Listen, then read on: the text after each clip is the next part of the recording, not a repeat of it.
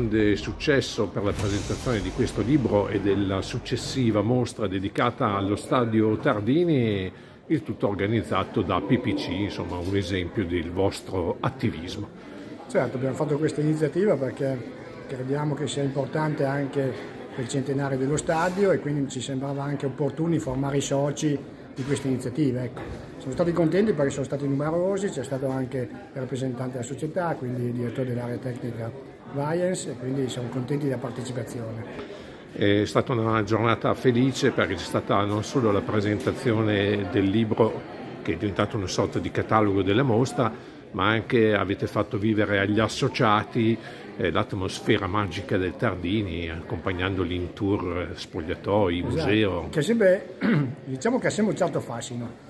Tutte le volte che organizziamo questa iniziativa pensiamo, ma magari stavolta non verrà gente, invece eh, crea sempre entusiasmo, c'è sempre un sacco di partecipazione perché ha sempre un fascino. Poi siamo riusciti anche ad andare in campo, quindi calcare il terreno del Tardini è sempre piacevole.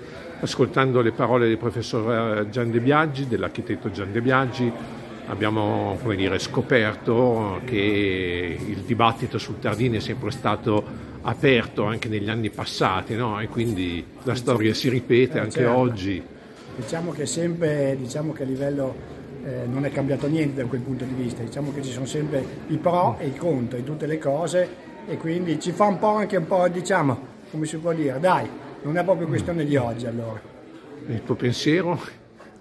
Beh, eh, insomma, sono pro stadio al 100%, quindi quando una, una, diciamo, un personaggio, un imprenditore privato mette del suo capitale a beneficio anche della città, eh, cioè, diciamo che è da scellerati dire di no. Ecco. Grazie mille. 没有。油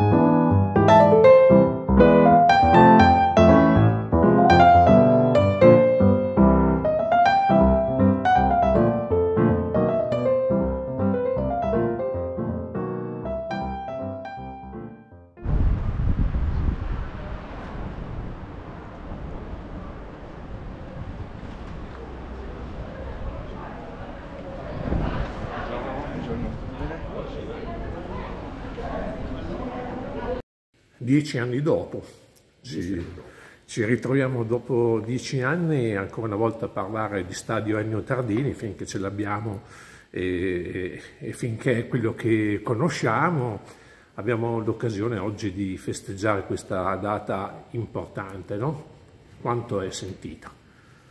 Per noi famiglia Tardini tantissimo, eh, siamo onorati di tutto quello che il nonno Ennio ha fatto per questa città nella sua breve vita, eh, non solo eh, questo stadio, questo impianto che nasce come impianto non di calcio ma polisportivo, quindi con una visione eh, eh, per l'epoca veramente all'avanguardia di partendo dal calcio, dotare la città di un impianto polisportivo con la pista di atletica per le biciclette, per le motociclette, la palestra, i, campi da tennis, quindi un qualche cosa di aggregante e di utilizzabile da tutta, da tutta la città. Quindi idee avveniristiche che all'epoca portavano lo stadio a essere il quarto per anzianità in Italia perché c'erano solo Luigi Ferraris a Genova, il eh, Pierluigi Penzo a Venezia e l'Arena Garibaldi a Pisa. Quindi un uomo con delle idee, il nonno è stato un uomo con delle idee veramente innovative all'avanguardia. La storia sembra volersi ripetere, visto che ci sarà dopo cento anni, dopo un secolo, nuova vita per questo impianto. È normale che le cose si trasformino, eh, certamente se in questo luogo esiste eh, o esisterà un nuovo impianto di calcio lo si deve anche a quello che ha fatto il nonno realizzando questo impianto che ha servito la squadra e la città per cento anni e forse qualche anno in più, visto i tempi che ci vorranno per realizzare il nuovo stadio. Il nuovo stadio. Benvenga il nuovo stadio augurandosi che mantenga comunque il nome del, del nonno Ennio. Sì, dice sarà un normale eh, naming eh, commerciale per ricavare qualche risorsa, visto che insomma l'opera sarà abbastanza maestosa, però il nome rimarrà così come mm, penso eh, accadrà e come è accaduto in tanti altri stadi italiani che hanno mantenuto il nome storico, anche se ora vengono chiamati con il nome dello sponsor. Certo, a livello toponomastico eh, ci aspettiamo che il comune mantenga il nome di Ennio Tardini. Circa il progetto c'è stato un po' di dibattito. Diciamo che le, gli stadi oggi sono una priorità per tutte le squadre di calcio soprattutto quelle della Serie A, lo vediamo da, da quello che avviene nei, nei, paesi esteri, dove comunque lo stadio di calcio non è solamente diciamo, il luogo delle partite, ma è un luogo per generare business, ricavi che sono sostenibilità poi sportiva per, per le squadre. Io non sono entrato nel merito del, dell'architettonico del progetto, mi auguro che possa comunque rimanere eh, diciamo, al servizio della città come è stato questo impianto per cento anni. Eh, verrebbe salvata la porta monumentale no? Del... Certo che è diciamo, il minimo credo per ricordare eh, quello che è stato questo impianto. Mentre poi ricordiamo che eh, qui eh, all'interno, protetto dalla struttura moderna di qualche anno fa, c'è tuttora la vecchia tribuna certo, centrale. Certo, certo, assolutamente sì. Quindi una, una, una struttura che quando è stata creata è riuscita comunque a mantenere diciamo, eh, viva la struttura per oltre 100 anni. Due parole anche su questo libro che il professor Gian De Biaggi... Io ho avuto modo di eh, leggerlo e di sentire da, da, dal professore, da Claudio Rinaldi e dagli altri eh, autori eh, la presentazione che è avvenuta il 9 di dicembre al Palazzo del Governatore, il 9 dicembre dello scorso anno eh, mi sembra un'opera molto ben fatta e che eh, racconta sotto più punti di vista la storia di questo impianto. Grazie mille. Grazie, grazie a voi.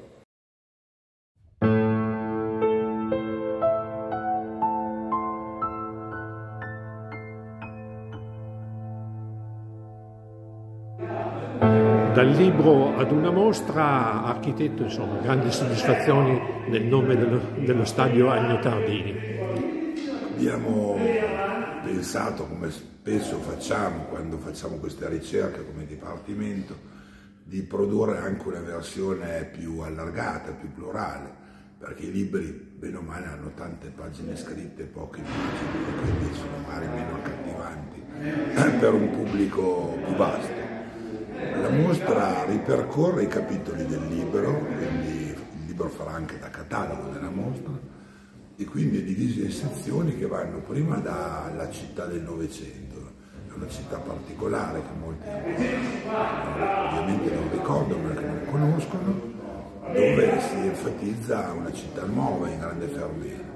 Poi la parte di Ennio Tardini, come era inserito nella società, le cose che ha fatto, poi tutto il dibattito, il progetto relativo al nuovo stadio, nuovo del 1923 però ovviamente inaugurato poi nel 24, infatti inauguriamo la mostra il 16 settembre del 24 che è la via dell'attività ufficiale eh, federale, diciamo così, dell'attività poi del calcio. Ma raccontiamo tantissimi eventi che si sono svolti in questo luogo, essendo poi l'anfiteatro della città, quindi tantissimi eventi culturali, non solo sportivi, eh, concerti, tante altre cose che sono svolti all'interno di questo catino.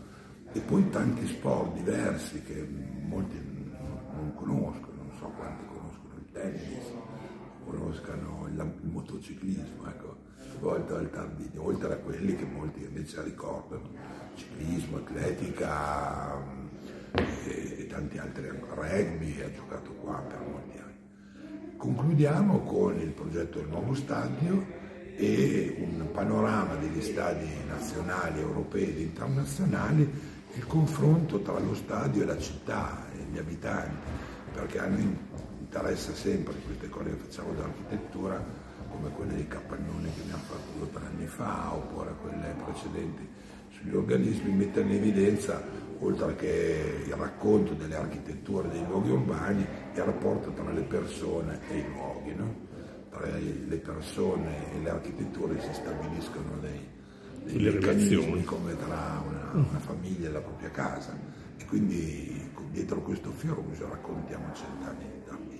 E cent'anni dopo la storia si ripete visto che insomma un certo tipo di dibattito, un certo tipo di fieramento su quello che potrà essere il nuovo Tardini ci ha accompagnato nel, nell'ultimo periodo. Se parliamo di città, di urbanistica, di architettura mi sembra normalissimo, cioè quando in una comunità si discute di un progetto così ampio, tenga presente che non esiste un altro luogo urbano dove in contemporanea vanno 20.000 persone, quindi è un decimo della città, nemmeno l'ospedale che è uno dei più grossi ha tante persone contemporaneamente. Quindi è normale che, eh, anzi, vedrete che nel 23 è stato uguale.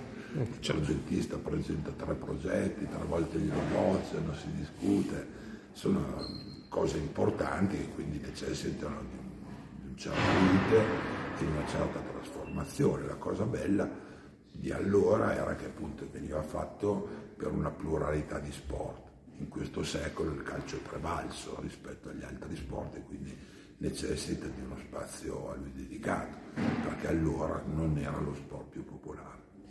La soluzione che si sta raggiungendo è di suo gradimento? Ma io non sono nessuno per esprimere un'opinione sul progetto, anche perché devo dire la verità, quello definitivo è in mano al comune, alla società, io non l'ho ancora visto, quindi quando abbiamo visto il preliminare, e certo deve essere un organismo necessario per contenere eventi sportivi che nel frattempo sono cambiati molto. Mi auspico che ci sia anche un coinvolgimento dell'area, perché è sempre stato uno spazio importante, l'area attorno allo stadio, tra le mura della città, perché sono spazi in genere urbani che servono anche alla città, non solo nel momento, spero anche negli usi, appunto un'infrastruttura così importante spero abbia anche altri usi perché la città ha bisogno di questi spazi, poi se sarà possibile ovviamente. A ricordare il vecchio Tardini rimarrebbe solo la monumentale. Rimane solo questo ingresso che è molto particolare, tant'è vero che noi nella mostra metteremo anche un plastico del Monumento Verde, perché è un riferimento. Il Monumento Verde del 1920, quello che non vedete più davanti alla stazione, questo è del 24. Ma l'arco degli eroi, quello che vedete al centro con l'esedra che abbraccia, sono, hanno un'impostazione architettonica molto simile e di conseguenza quello è quello che rimarrà. L'altra porzione che è stata fortemente menomata negli anni che quella che rimane sotto penso sia intenzione di levarla, ma credo che la soprintendenza il suo senso. Lei nel libro ricorda appunto come eh, questo stadio sia entrato nel cuore di questa zona di, di Parma, eh, adesso mi viene in mente il Petitò, eh, si, si, occhieggiano no? la, la, porta monumentale del Petitò. Il progetto di Ettore Leoni, che è l'architetto che l'ha progettato, ed è tutto organizzato, puntato a tutta la prospettiva, sia interna che esterna, prende il casinetto di Petitò come punto focale, quindi proprio l'organizzazione del progetto è centrato sul Petitò volontariamente. Grazie mille.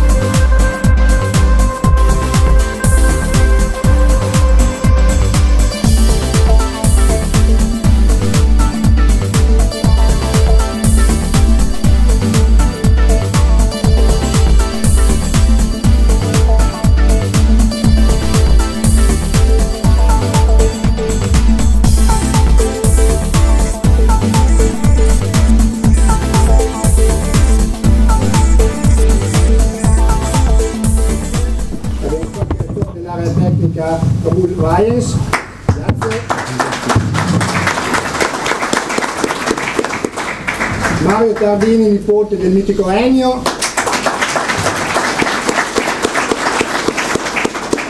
Il direttore della Gazzetta di Parma, Rinaldi. Grazie. Grazie. E l'architetto Gianni Biaggi che è l'autore del libro e anche della mostra. Grazie. Adesso do la parola al direttore per un piccolo saluto della società. Grazie. Grazie Paolo, uh, buonasera a tutti. Um, scusa. Buonasera a tutti. Uh, non sono uh, preparato per, per, dire qualcosa perché uh, voglio solo essere qui per um, ringraziare l'autore per, per, questo libro. Um, e, di nuovo un, uh, un esempio de, de, della storia uh, del Parma Calcio uh, con club. Um, abbiamo una storia che, che, è, che tante, tante altre club, non solo in Italia ma anche in Europa, non abbiamo e dobbiamo essere eh, o possiamo essere orgogliosi um, e uh, adesso io sono, sono orgoglioso di, di, essere, di, essere, qui in, in, in un club uh, con un, una storia e in un stadio che penso che già io con, con nella mia, mia prima stagione uh, ho visto qualche partita uh, straordinaria con, con, la remonta contro il Palermo o le, le, le partite contro um, Pisa, Venezia che abbiamo vinto all'ultimo minuto e penso che anche uh, queste vittorie, vittorie so, sono a cosa di del, del, stadio perché abbiamo un stadio particolare, speciale che, che non è tipico italiano eh, perché eh, i tifosi sono veramente vicino eh, al campo e è un vantaggio e loro non solo la curva nord ma anche gli altri tifosi possono aiutare ehm, le giocatori, i giocatori e um, um, allora sono sicuro che, che, che tanti di voi hanno visto uh, um, partite importanti uh, e spero che in, in, in, prossime settimane abbiamo ancora due, solo due uh, partite importanti e spero che possiamo ehm, continuare a avere il, il vostro supporto. Um, allora ancora congratulazioni all'autore e Grazie a voi per essere qui e per supportare il Parma Calcio.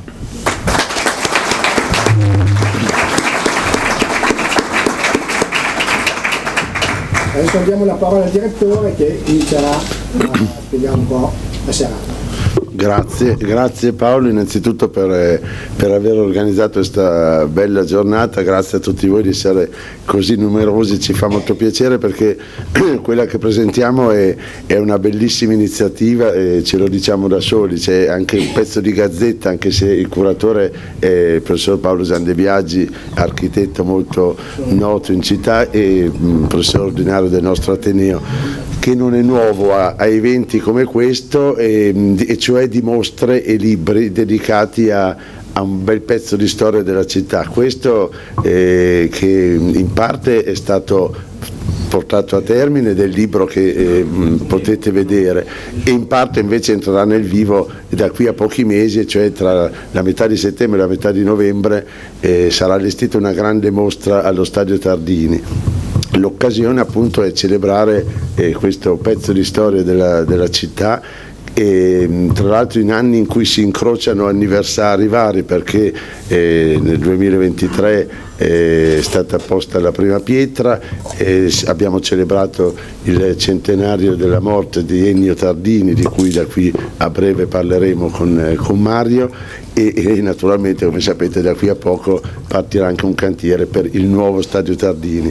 Il, il viaggio che la squadra mh, allenata, diciamo così, visto il luogo dove ci troviamo, dal professor Gian De Biaggi eh, ha, ha fatto è un viaggio eh, a 360 gradi intorno a, a questo monumento eh, sportivo e non solo e quindi sia eh, nel libro eh, o meglio, la ricerca che è stata fatta e che è stata declinata nel libro che è già uscito e sarà declinata nella mostra invece che per ora è in fase di, di, di pensiero e di preallestimento, ma che da qui a qualche mese vedrete, è raccontare il Tardini davvero a 360 gradi, quindi dal punto di vista urbanistico, della collocazione di come si era dibattuto anche all'epoca, io faccio qualche breve anticipazione ma poi entrerà più nei dettagli l'architetto, di come si era dibattuto sul dove farlo, su come è stata scelta l'area, su come è stato scelto il progetto che ha portato alla, alla realizzazione, alla posa della prima pietra. Mario Tardini ha qui da mostrare una,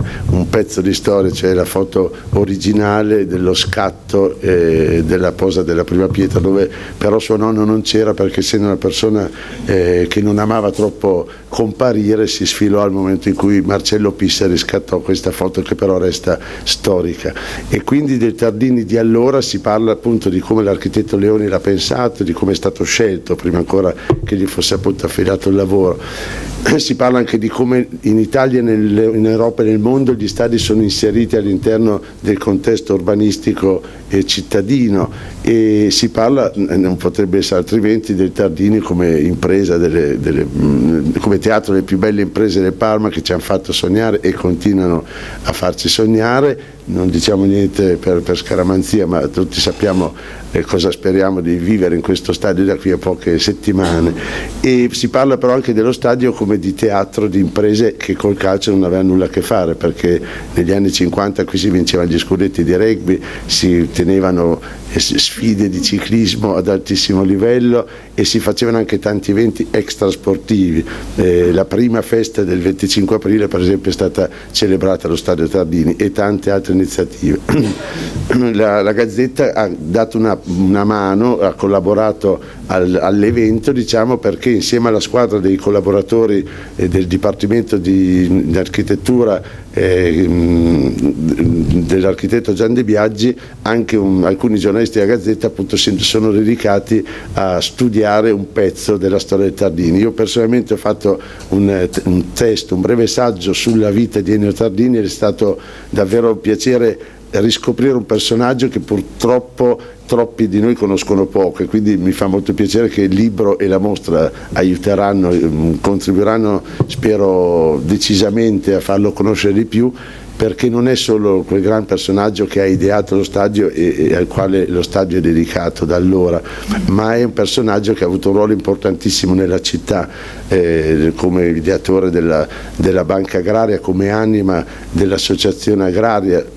Erano anni in cui si è, si è fatto a Parma un certo sciopero agrario di cui tutta Italia ha parlato e, e Mario Tardini è stato uno, Ennio Tardini scusa, è stato l'anima dell'associazione agraria che è stata appunto protagonista di questo epocale scontro. Per darvi un'idea, la Domenica del Corriere ha dedicato copertine intere con disegni di Achille Beltrame, allo sciopero agrario del 1908 a Parma e poi tantissime altre cose, ma visto che c'è qui il nipote che conosce molto meglio di me la, la vita e la figura di Ennio Tardini, chiederei Mario che fossi tu a, a, ricordare in poche parole, ammesso che sia facile, perché con tutto quello che ha fatto facile non è, chi è stato tuo nonno Ennio Tardini.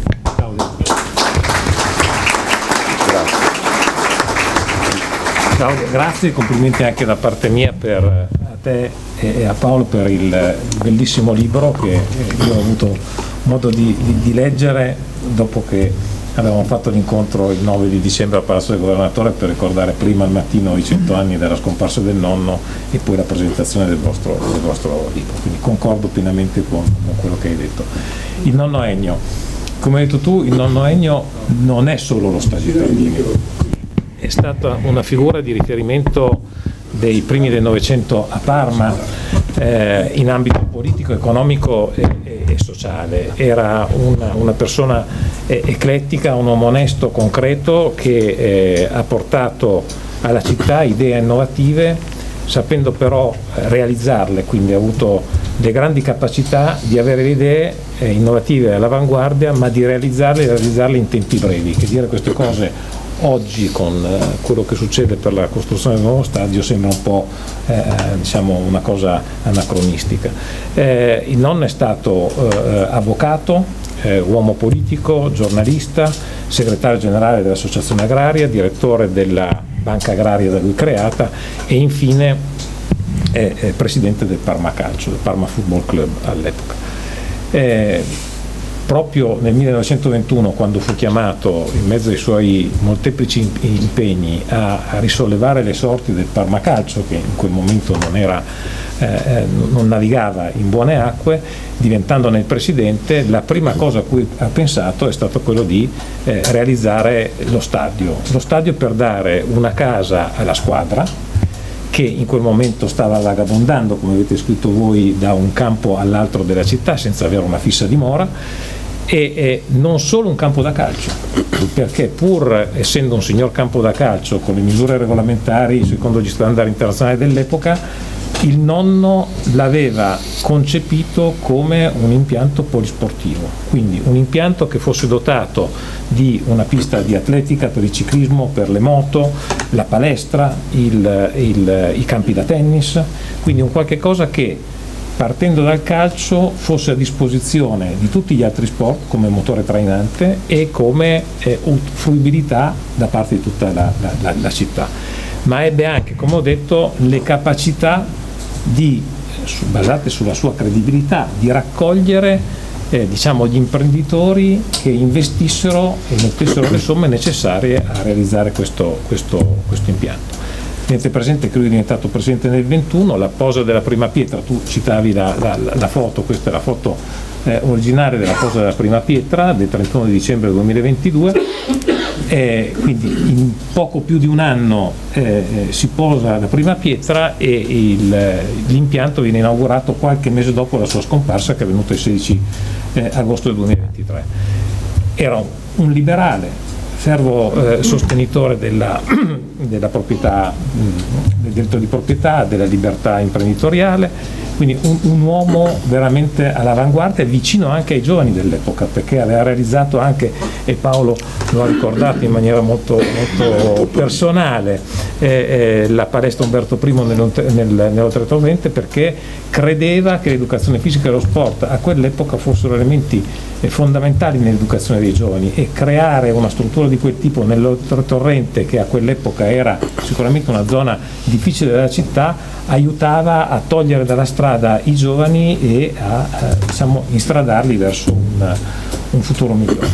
Eh, io ringrazio tutti quanti, ringrazio a nome dei, dei, miei fratelli Alberto Egno Maria, e Maria Grazia, di tutta la nostra famiglia per eh, diciamo, eh, averci invitato, ringrazio Parma Partecipazioni Calcistiche e Paolo Benecchi, l'amministratore delegato e lascio la parola a voi per eh, le altre parti.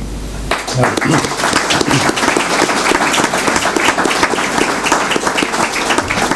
Grazie e, e, complimenti perché sei riusciti a fare una sintesi davvero di quel personaggio straordinario che è stato Ennio Tardini.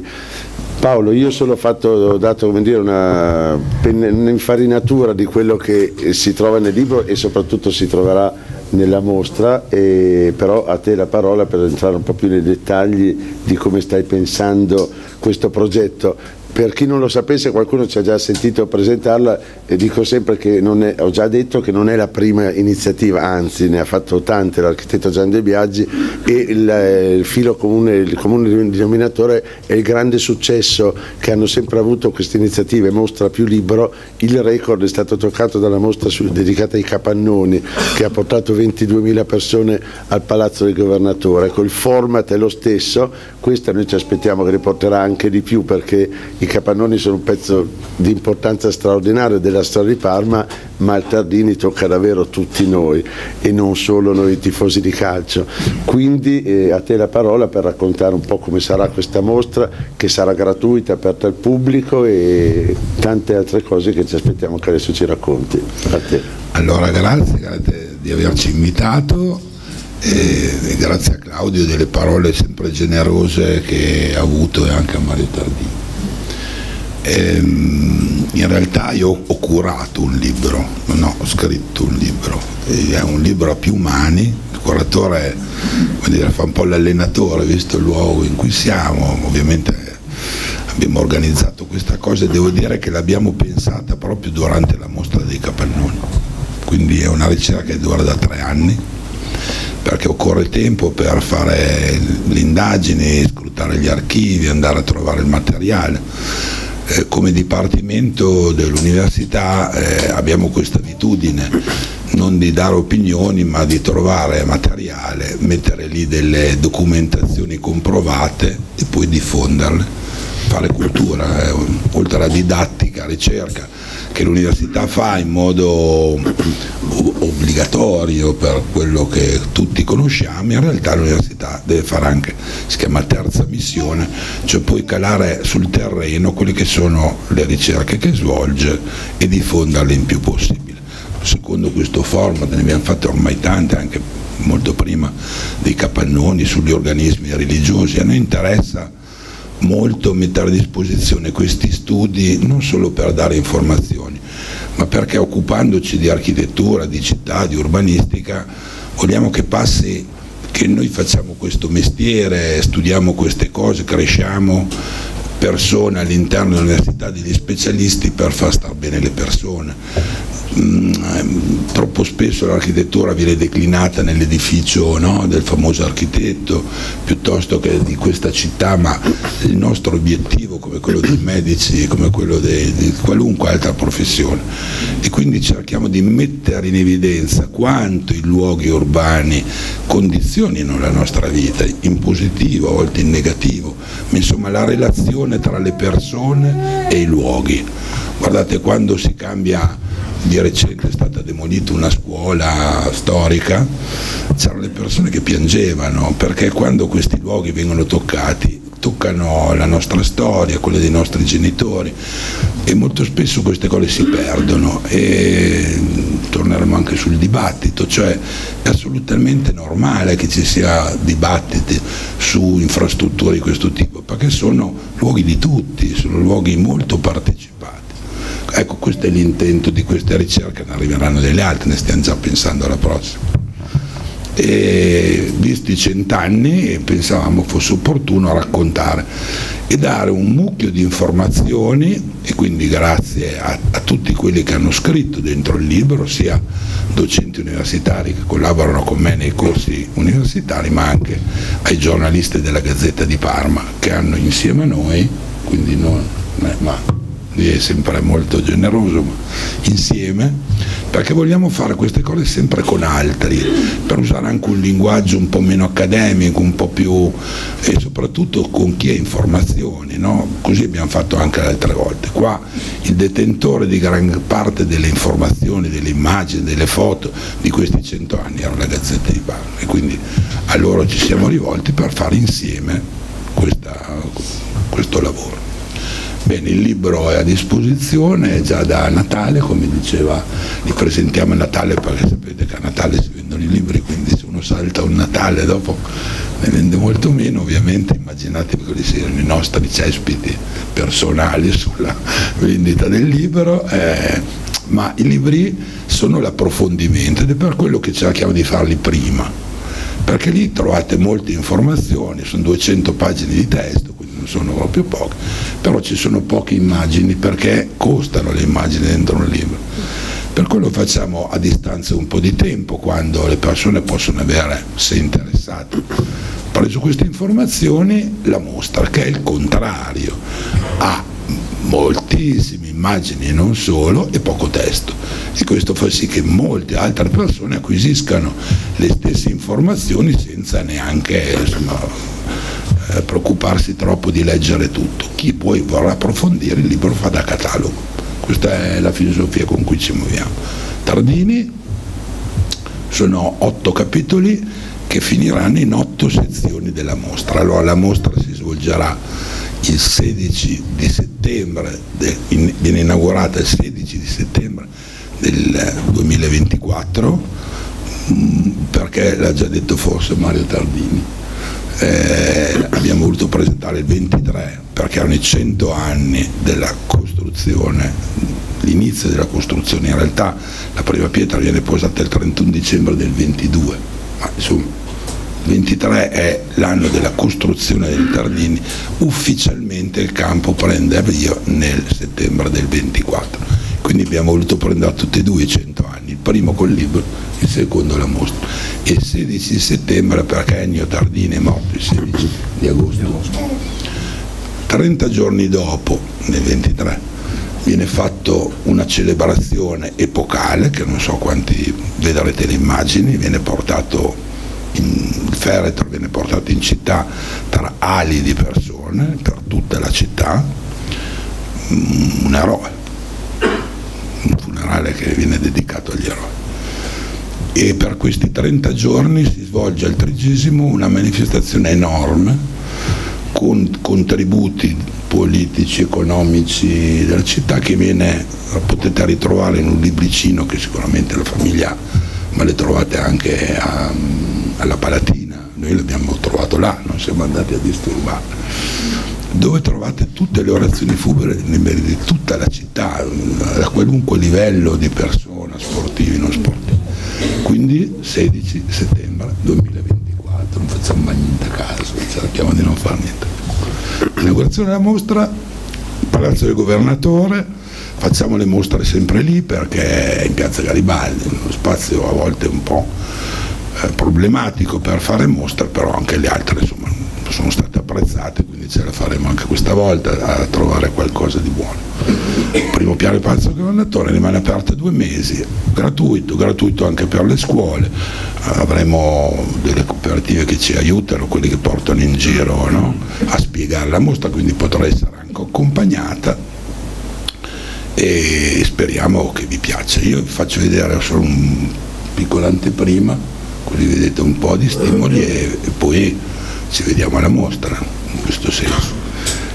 Come per il libro noi partiamo dalla città, ogni architettura, ogni edificio, ogni infrastruttura va letta dentro la città e bisogna ricordarsi che tipo di città è sciocco pensare a anche solo l'esedra con l'arco, no? Immaginatela adesso, immaginate nella città dell'inizio del Novecento, è totalmente diverso l'ambito, no? ma soprattutto di carattere sociale. La Parma di inizio Novecento è una città in grandissimo fermento, in grandissima espansione.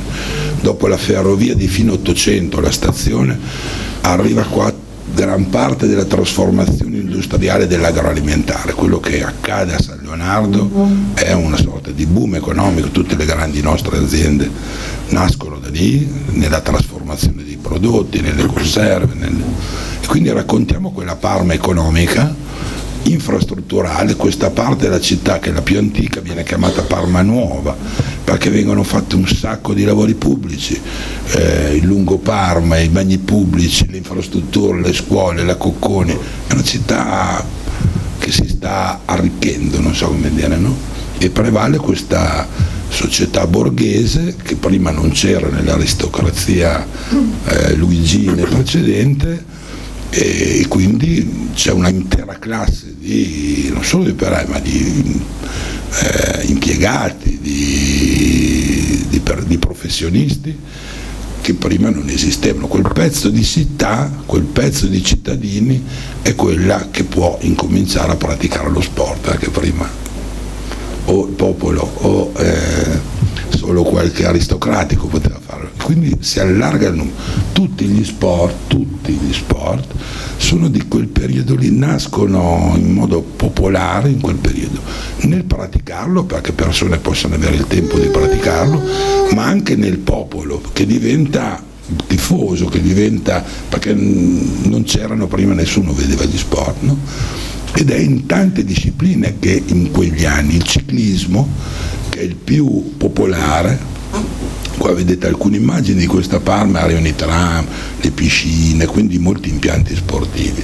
La figura di Ennio Tardini ha una sua parte centrale perché, come veniva ricordato prima, eh, mette insieme le sue doti economiche e umane per riuscire a mettere insieme un'operazione che è difficile, perché non era il presidente dello sport più popolare, il calcio non era lo sport più popolare, erano altri. Qua vedete riforme, la posa della prima pietra, guardate il funerale, cioè raccontiamo un po' la storia di Notardini che riesce a trovare la quadra. La quadra è, occorre molto denaro, molto più di quello di cui lui dispone col farmacalcio e per far questo mette insieme gli sport, non poco. Cioè mette, si mette insieme, coordina i ciclisti, coordina i tennisti, coordina i rugbisti, eh, l'atletica pesante, l'atletica leggera, cioè li mette insieme tutti perché c'è da fare una cosa grande, insomma voi immaginate per quella città cos'era lo stesso spazio, cioè i muri che vedete attorno sono rimasti intonsi, no? e quindi fa un parco privato perché non è pubblico, diventa pubblico, lo dico anche in merito ai dibattiti attuali, cioè noi diamo queste informazioni, non prendiamo posizione, diamo informazioni, ognuno poi si farà, ma non è una novità che c'è un rapporto pubblico-privato nello sport. Cioè, il comune lo acquista nel 1930 durante il fascismo e infatti gli cambia nome, lo chiama Walter Branchi e fa dell'altro. Eh, mette insieme tutti questi sport e fa questo parco dello sport, è un po' forse lo vedete poco in, in quell'immagine, là ci sarà molto più grande, in mezzo agli edifici, anche questa è una cosa che pochi sapevano, ma insomma, rispetto al dibattito non c'erano gli edifici, sono nati dopo, no, viene progettato attorniato dagli edifici, ma tutte informazioni di cui potete disporre. Viene fatto un concorso nazionale, quindi anche qua è l'idea non provinciale no? di, di, Tardini, di, di, del gruppo, cioè cercavano un progetto diremmo oggi internazionale, in realtà nazionale, ma insomma, ma i progetti non sono soddisfacenti e quindi, ecco, guardate, quei quadretti che vedete a fianco è la lottizzazione in cui noi siamo, quindi era tutto lottizzato per fare caso.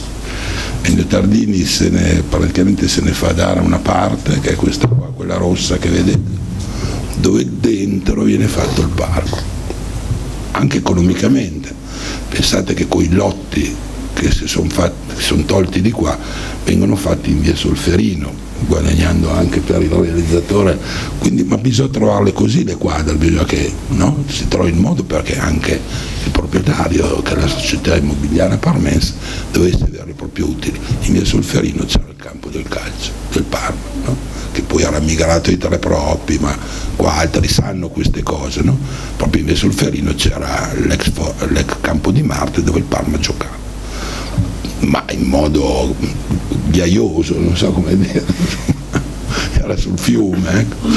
e poi si sono trasferiti all'ex Aridani, avevano già acquistato questa utilizzazione, poi viene questa occasione, si parte tutti per questa impresa, questo è il progetto di un parco urbano con laghetti, con verde, in cui la gente poteva andare a passeggiare, con i campi da tennis, ho usato un termine in un'intervista forse non, non bellissima, però è, è l'idea che ho dello zoo, no? cioè eh, quando andate in uno zoo tipo a Roma voi entrate da un ingresso come questo, no? poi la gente gira e vede dentro le gabbie, ecco la gente poteva girare e vedere due tennisti giocare a tennis, due giocare a calcio, ma era un'assoluta novità perché nessuno aveva mai visto persone battersi nel tennis o, o fare le corse atleti, quindi era molto attrattivo per la cittadinanza che non conosceva questi sport. Progetto invece viene dato a Ettore Leoni, quindi vengono scartati i progetti del concorso e Ettore Leoni fa un progetto d'architetto dico da parmigiano, cioè lo imposta tutto sul casinetto del pedito. Quello che vedete è l'asse su cui tutto il progetto viene focalizzato, da qualunque parte noi siamo, certe cose non c'erano ovviamente, si vede il casinetto del pedito che fa da il controingresso, lo progetta tutto direzionato al cliente. E quindi elenchiamo i progetti, il progetto viene presentato per tre volte, per tre volte bocciato, quindi dire, è la storia, è, il dibattito su un'infrastruttura così importante è normale che ci sia, perché è una cosa grande della città, no? i modi magari potrebbero essere anche più eleganti magari, ma eh, fatto sta che è normale che ci sia una proposta, una controproposta e si trovi poi la quadra magari nei tempi e nei modi più utili. Non c'era la tribuna, c'era, alla fine c'era solo il recinto, questo grande ingresso e il campo. E poi viene fatto il resto, la tribuna viene fatta successivamente, una, l'altra. E quindi raccontiamo poi tutte le trasformazioni che sono avvenute, alcune delle quali anche voi le ricorderete. Eh, io venivo al Parma quando c'erano i tre gradini, ma di cui faremo un pezzettino dentro la mostra, ma ci sono persone viventi che l'hanno visto senza anche i tre gradini, cioè è un'evoluzione continua dei tre gradini, poi il calcio prevale negli sport adagio adagio il calcio è quello che raccoglie più persone, quindi anni 30, anni 40, anni 50 facciamo delle sezioni specifiche dove facciamo vedere le trasformazioni, la più evidente sono le tribune. Si passa dai tre gradine delle tribune eh, a tubi innocenti, assi con i morsetti, ve le ricordate tutte, no?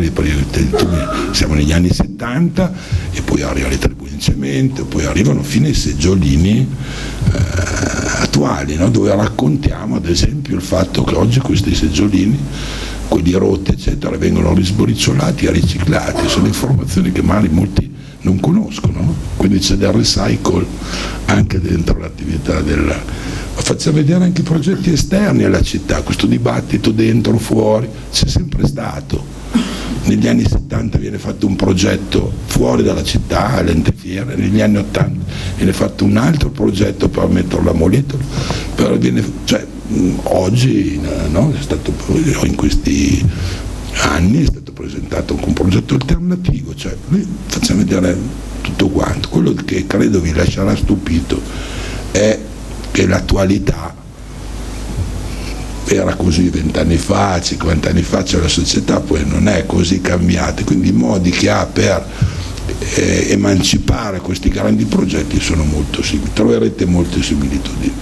Ovviamente non poteva mancare gli eroi del calcio, ci sarà una parte dedicata e ringraziamo il Parma Calcio, ci ha detto ci mette a disposizione un po' di gadget, un po' di cose, noi elencheremo in un muro i 10, uno per decennio, i presidenti più importanti, gli allenatori più importanti, i giocatori più importanti, ma anche molte interviste fatte. No? E quindi come evolutele?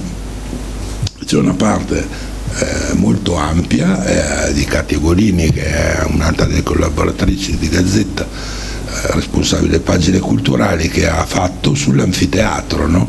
cioè quanti eventi sono stati fatti questa, da manifestazioni politiche, culturali, grandi ospiti, ma anche grandi concerti, ma anche grandi feste, delle feste delle matricole a, a feste più importanti un'altra sezione parla di tutti questi sport, hanno giocato gli Harlem, Globetrotter, hanno, mm, il rugby, il ciclismo, no? metteremo delle cose con Vittorio Adorni, le biciclette, i grandi cantanti, Claudio Baglioni, Edoardo Bennato, cioè ce n'è per tutti insomma. Fino ad arrivare al progetto del nuovo stadio che è il futuro ma soprattutto che ovviamente verrà poi diffuso, il definitivo non l'ho ancora visto, ma so che tra la società e, e, e il comune, quando poi avranno finito eh, speriamo di poterlo mettere in mostra perché non è a me disponibile, abbiamo messo il preliminare, quello che era pubblicamente disponibile. E quindi il progetto del nuovo stadio, ma soprattutto ci interessava mettere in evidenza le relazioni di questo stadio con gli altri, cioè spesso è talmente unico come architettura che uno pensa di avere dire, l'oggetto più bello del mondo, più grande del mondo, oppure in centro, oppure fuori. Gli altri cosa fanno? Ecco, a noi serve sempre il confronto, no? lo facciamo con la chimica o con la fisica, noi universitari abbiamo bisogno della prova e di, e di provare queste cose rispetto a, al resto e quindi abbiamo una carrellata di stadi italiani, europei ed internazionali che là vedrete relazionati alla città, cioè dove sono collocati, quanto è grande lo stadio e quanto è grande la città, perché c'è una relazione ovviamente no, tra dimensione dello stadio e quindi ognuno potrà fare i confronti e vedere molti stadi realizzati. La cosa che mi preme dire è che nella mostra non ci saranno solo molte più immagini e poco testo, ma ci saranno molti oggetti e questi so che piacciono. Eh, chi è venuto al mostro dei capannoni avrà visto costruire un capannone intero in scala naturale che ha stupito tutti perché uno poteva vedere come si andava a letto, come si mangiava dentro un capannone. Ecco, anche questa mostra, non ve le svelo tutte, no, però ci saranno molti oggetti, molte cose tattili da toccare, da, da vedere, che lasceranno po' stupiti per la dimensione, no? perché stiamo parlando di cose di una certa dimensione, a partire da un plastico particolare che stiamo congegnando per farvi vedere in modo materiale il prima e il dopo contemporaneamente, ma questo lo vedrete alla mostra, o tante altre cose che speriamo vi possano piacere. Mm, dico solo che eh, la mostra inizierà con Giuseppe Verdi poi dite cosa c'entra Giuseppe Verdi? Giuseppe Verdi muore nel 1901, Bernardo Bertolucci a 900 ha, già detto questa cosa, quindi non siamo mica i primi, eh? Bernardo Bertolucci apre 900 con Rigoletto che dice le morte verde, le morte verde, perché è l'inizio del nuovo secolo e soprattutto perché il monumento a Verdi è coevo al Tardini, viene inaugurato nel 1920, il Tardini nel 24 sono due architetti che si conoscono, si confrontano e quindi avuto la certezza ieri, ma avremo il plastico anche del monumento Verdi che forse pochi di voi avranno visto. Eh, guardando là, però io sono così e sono molto, non è né preparato niente. Noi metteremo molte cose ad esempio su PPC, cioè Mm, abbiamo trovato, voi lo sapete già, ma non so quanti sapessero, che è l'unica società in Italia che ha questo partenariato pubblico. Per noi è una cosa molto importante che metteremo fuori, è una caratteristica della nostra città. No? Così come siamo in relazione col coordinamento boys, il coordinamento tifosi, per fare la mappa di tutti i club che ci sono nel mondo, che io vengo al Parma da un po', non sapevo, cioè c'è una... Ecco, queste informazioni che fanno capire quanto ogni cosa che si fa in città e quelle importanti ancora di più tocchino le persone. Parliamo del passato, ma per parlare di futuro, non siamo dei collezionisti, cioè ogni cosa che trovate del passato ha una relazione con quello che accadrà e quindi eh, non ultimo Ennio Tardini, mentre guardavo prima però non so se potrò, ma ci pensiamo. Mi piaceva una foto del nuovo Ennio Tardini, dopo cento anni metterlo all'inizio la foto di suo bisnonno e alla fine del mostro il nuovo Ennio Tardini perché la cosa mi ha toccato quando abbiamo fatto la presentazione. E non so se è corretto perché è un minore, però se voi mi autorizzate mi piacerebbe fare questo, questo, collegamento perché il fatto che ci fosse un Ennio Tardini cent'anni fa e il fatto che uno è lì a me tocca parecchio, quindi ecco, persone, cioè non solo muri, cemento armato, eccetera, ma persone, questo è quello che vogliamo far passare attraverso gli studi che facciamo. Grazie.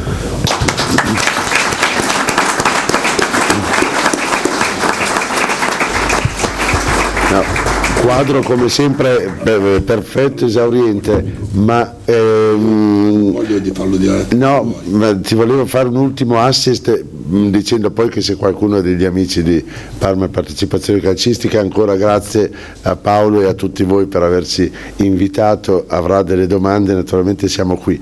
E il quadro che hai fatto è perfetto, due piccole cose che puntualizzerei, uno che oltre agli oggetti, alle foto, all'architettura della mostra sarà molto d'impatto, la mostra vivrà anche, anche, grazie a una serie di incontri che sono già stati programmati per portare tanta gente. E poi che eh, per ultimo invece l'assist è, eh, è chiaro che la mostra ha dei costi, con la premessa che i qui presenti non, eh, avranno, non, non, è previsto nessun eh, gettone e ci mancherebbe altro, però ehm, noi presentiamo questa iniziativa anche per dire, questo vale anche naturalmente per i soci di PPC, che se qualcuno vorrà, vorrà eh, dare un contributo sarà ben accetto, magari Paolo sì. spieghi meglio allora, il come. Per la prima. Scusa, e anche il fatto che non sono eh, richieste no, no, cifre. Per la, per la prima cosa le mostre, è capito così anche per le altre, ormai sono 30 anni che facciamo libri e mostre, quindi eh, ogni settimana ci sarà un incontro all'Auditorium Mattioli, cioè a fianco a Palazzo del Governatore, sapete che a quel piano c'è un auditorium, tiene 120 persone.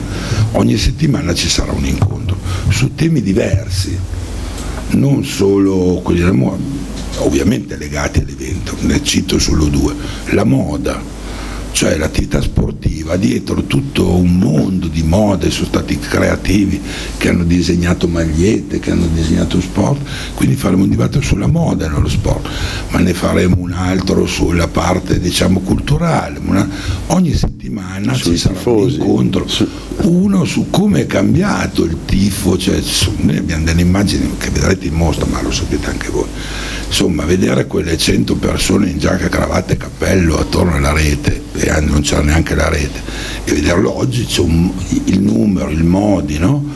e quindi avremo, abbiamo già contattato testimonial di questi mutamenti perché sono mutamenti che accompagnano la società che li genera, non sono né da osteggiare né da incensare, sono la fotografia della società che man mano cammina insieme agli stadi la parte economica, perché c'è anche quella, eh, abbiamo contattato ovviamente una serie di, di per sostenere questa iniziativa, perché eh, non è prendiamo, ma non vorremmo neanche mettercene noi troppi, e, e di conseguenza che hanno già in parte garantito, però come per il vostro caso il crowdfunding è, vuol dire, eh, noi abbiamo preparato una, una fotocopia che distribuiamo in questi incontri perché chi ha una ditta, chi ha una società, chi vuole in qualche modo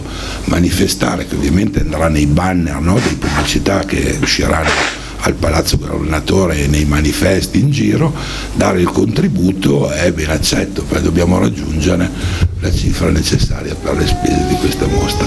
Quindi abbiamo preparato una fotocopia che non so se, se andiamo adesso, vabbè, la possiamo distribuire, se qualcuno o personalmente o perché ha amici, ditte interessate a sostenere questa iniziativa può farlo e lì trova, oltre alla spiegazione sintetica di quello ho detto, anche dove rivolgersi per fare un bonifico necessario al sostentamento.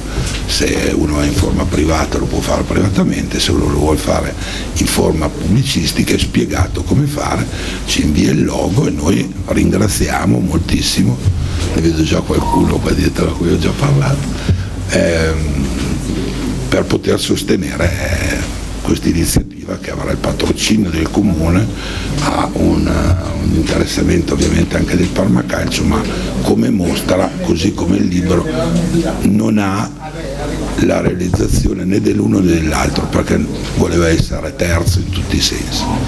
E quindi grazie se, oltre ai presenti se potete comunicarlo per aiutarci a realizzare questo evento. Io posso fare una domanda? Due. Io ho fatto anche un circolo di tennis di Parma, come ci sono 5 o 6. Ma come faceva un uomo 110 anni fa a immaginare un centro sportivo di sport che ancora magari non esisteva? Per me è una cosa di una genialità incredibile. Cioè era avanti 50, 100 anni rispetto ai tempi, ha pensato qualcosa per i parmigiani dei prossimi 100 anni.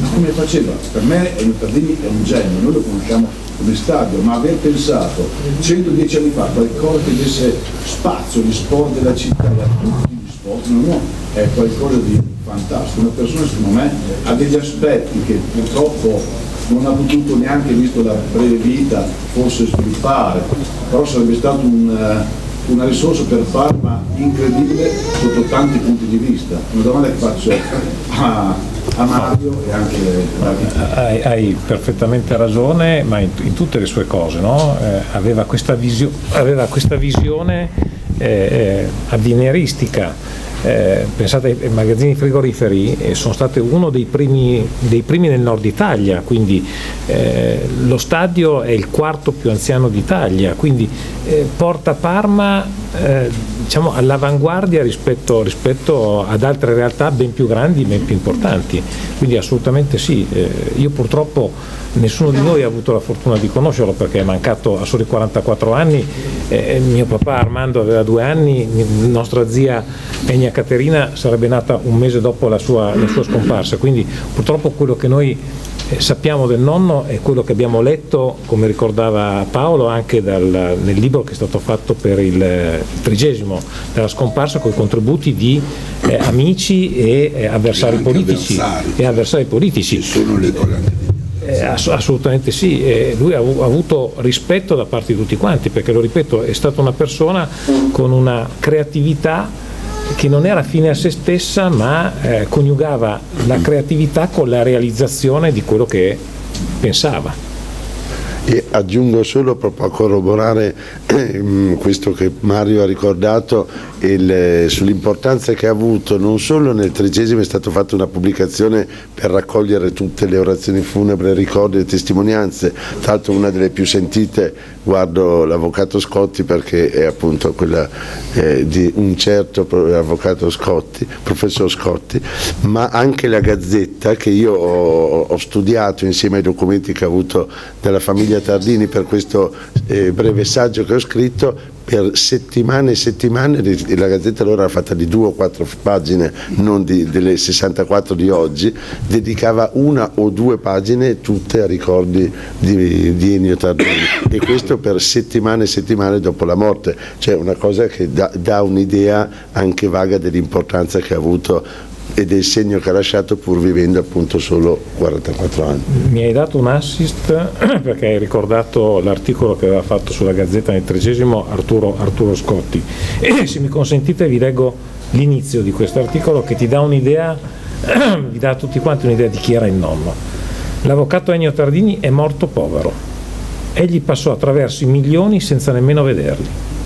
Egli fu così costituzionalmente onesto che forse neanche comprese la possibilità di arricchirsi.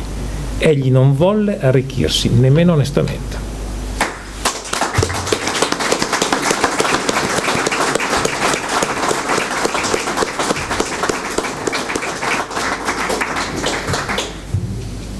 Qualcuno altre domande? Se non c'è nessuno, allora ringraziamo Grazie. famiglia, grazie. Grazie. Grazie a tutti, grazie a voi.